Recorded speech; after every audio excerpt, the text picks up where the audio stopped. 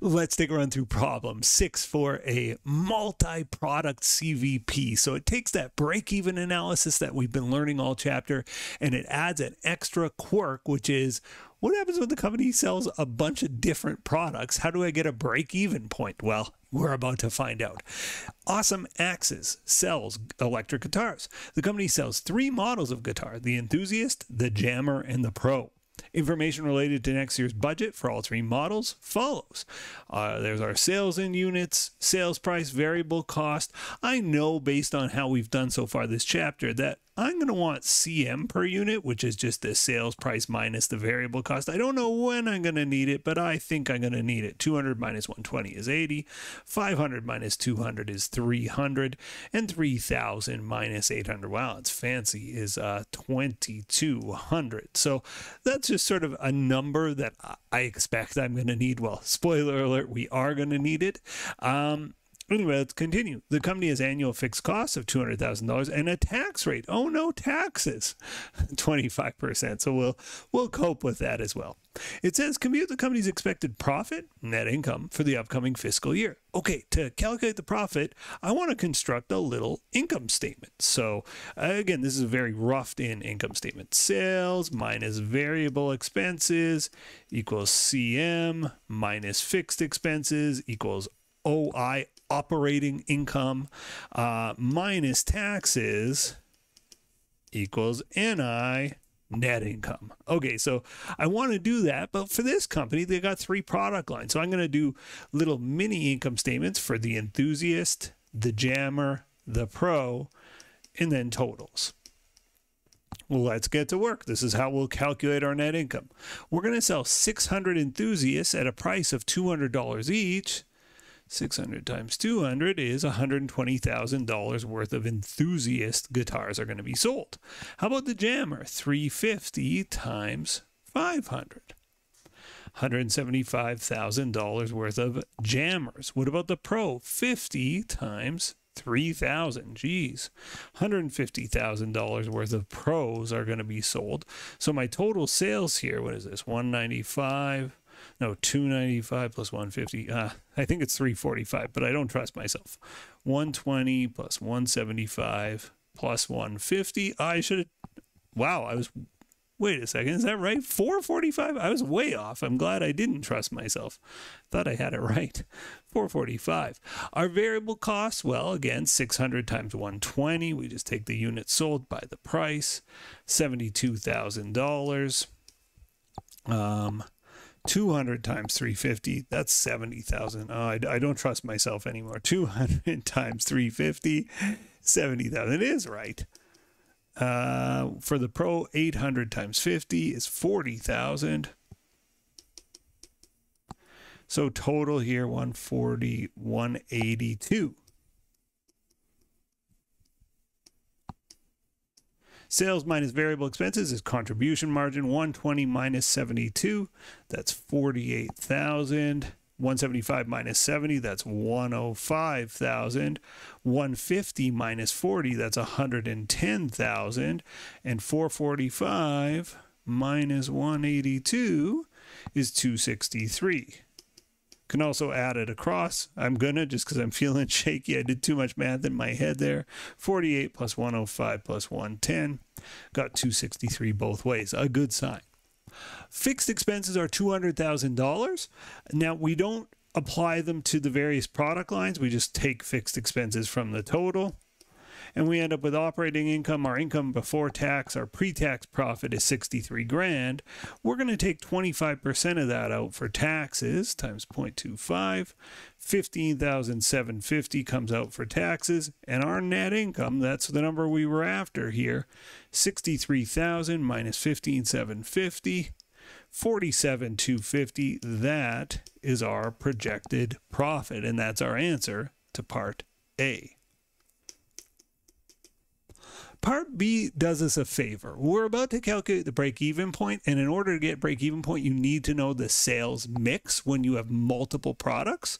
So, a lot of times in my class, I don't ask B, I just jump right on to C, and it's like, well, you have to calculate sales mix, but but this one sort of feeds it to us. So let's calculate the sales mix, and the sales mix just means what percentage of my sales belong to each category. So, for example, in total, I sold, or I'm planning to sell 600 plus 350 plus 50. I'm planning to sell a thousand units, right? A thousand guitars. And 60% of them are enthusiasts. 600 out of the thousand, 60% are enthusiast guitars. So again, the math is 600 divided by the total, a thousand. It's 0.6 or 60%. 35% are jammer and 5% are pro, and that of course adds up to 100. This is my sales mix. So we've answered part B. Uh, so again, if I were to write out the answer to part B, I would say enthusiast 60%, jammer 35%, pro 5%. Assuming a consistent sales mix, how many units of each product type must the company sell to break even? So this uses the same formula we've been using all chapter, but there's just a slight twist. Here's our break-even unit. So it's fixed expenses, which for this company was like $200,000, divided by CM per unit. The issue is we have three different CM per units. We got 80, we got 300, and we got 2200. How do I figure out my overall CM per unit? The answer is I take a weighted average. And what a weighted average is, is you multiply the mix by the CM per unit. So weighted average CM per unit 60% of my uh, uh, guitars that I sell are enthusiast, and in each of those I make 80 bucks. So 60% times 80 is 48. 35% times 300 is 105. 5% times 2200 110 add them all together now these numbers on their own don't mean much but when they're added together they do 48 plus 105 plus 110 equals $263 on average, when a customer walks out the door, they're contributing $263 to my bottom line. Now you can see the vast majority of customers buy the enthusiast, which only contributes 80 bucks. A big chunk of them buy the jammer, which contributes 300. But what's really helping my average is these pros, each one of those pro guitars contributes $2,200. So this is the weighted average contribution margin per unit our formula here, the math is we take our uh, fixed expenses, which were $200,000, divided by CM per unit, which is this number. This is what we're working towards. This is what's novel or new in this uh, multi-product CVP is figuring out contribution margin per unit, and we've just done it.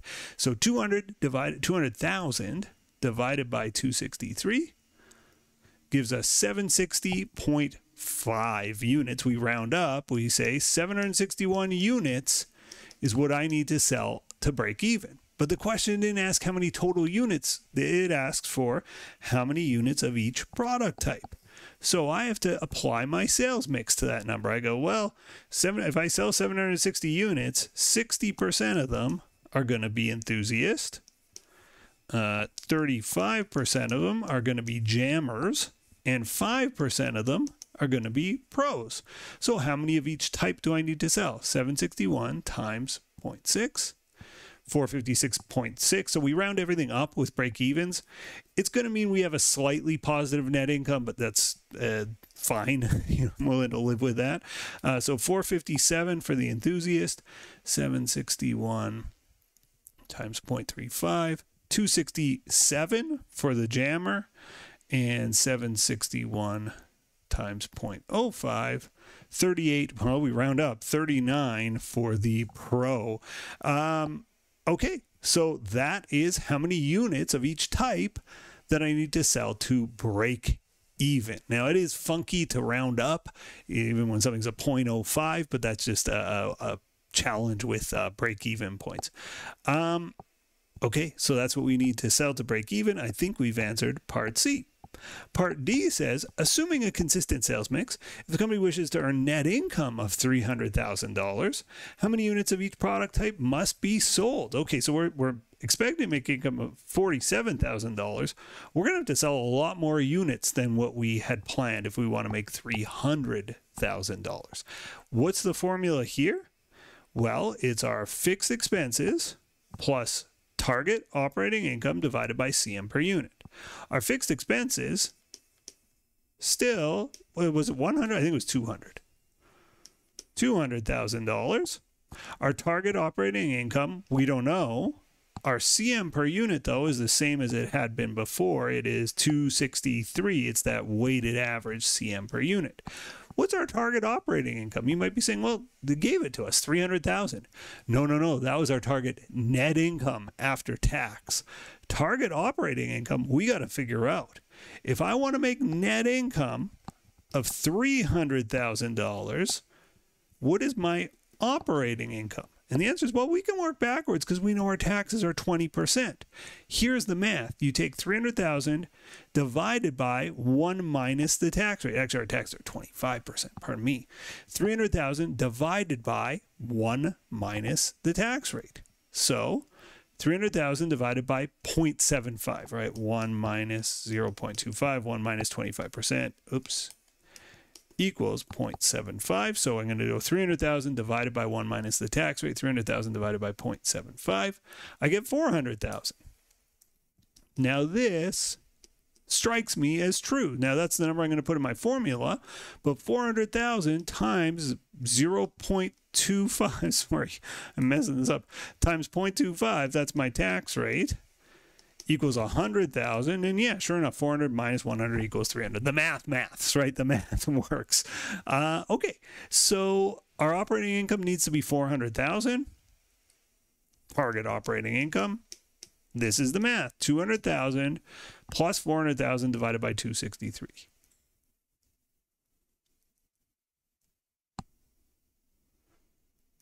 And I get 2282 That's how many units I need to sell in order to make $400,000 in net income. 2282 but the same as I did above I got to say okay well I'm good I got to sell 2282 but which 2282 do I sell 60% of them are enthusiast 35% of them are jammer and 5% go to the pros so let's uh, crunch those numbers. 2282 times 0.6. 1370, we round up. 0.35 times uh, 2282. 799 for the jammer. And for the pro, uh, 2282 times 0.05. 114 five, one one five. And there we go. That's how many units of each type I need to sell to make my target profit of $400,000. So that's my answer to part D. Part E says compute the margin of safety. Margin of safety, budgeted sales minus break even sales divided by budgeted sales. We got the budgeted sales in dollars we got the break even sales in units and we got the budgeted sales in dollars. So for this formula, I'm going to take the budgeted sales in dollars just from the income statement we projected at the start. It's 445. So it's going to be 445 minus something divided by 445 we just have to plug in this something. What is the break even sales in dollars? And we know our break even units. We said 761 units. Um, and in fact, we we know the um, breakdown here is 457 units of in was it enthusiast, 267 of jammer, and 39 of pro. Well, now we can math it out. We can say, well, my enthusiast costs uh, the price is $200. Oops. The price there is $200 and for the jammer 500 and for the pro 3000 so I just multiply by the prices. And I'll get my uh, break even sales in dollars. So it's just the units sold times the price. So 457 times 200, $91,400 sold there. 267 times 500, 133,500 there. And 39 times 3,000, $117,000 there my total sales here in dollars 91400 plus 133500 plus 117000 is 341 900 now it is possible to do this with cm ratios. You will get slightly different numbers because i'm rounding up twice here. I round up to get to 761 then i round up each one of these. So there are slightly different answers that are possible here. I think this is a better answer. 341 900 is my uh, break even sales in dollars. 341 900 goes in here.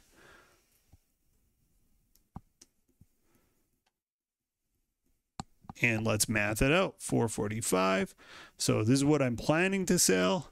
This is what I need to sell to break even 341 900. Divide by what I'm planning to sell and we'll get a percentage 23.2%. So, what does that tell me? It says my sales can be 23.2% worse than I expected, and I'm still going to break out even. So, that's you know a desirable number to know you can say your projections are off by 23% and you're still going to be okay all right Thank you so much for watching as always. And if you've liked the video, I hope you don't mind hitting one of those buttons. Have a great day and I'll see you in the next video. Bye for now. The next video in our series is right up here. And if you want a supercut of all of the videos in this series, that's the one down below.